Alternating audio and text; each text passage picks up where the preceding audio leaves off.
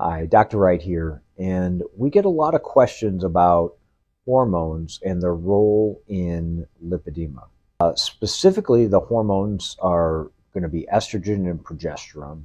And while we know that the women with lipedema have normal levels of these hormones, estrogen and progesterone, there is a the receptors, so the receptors on the cells where they act are, are abnormal. There's a greater preponderance or number of alpha receptors versus beta receptors in uh, adipose tissue and other uh, other cell types in uh, lipedema.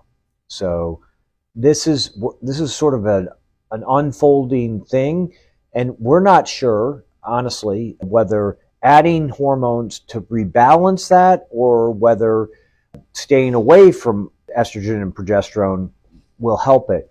That's something that really needs to be explored. So at this time, what I advise my patients um, who are under my care is is if they are going to use estrogen or progesterone to use the lowest doses and to stick with the natural formulations.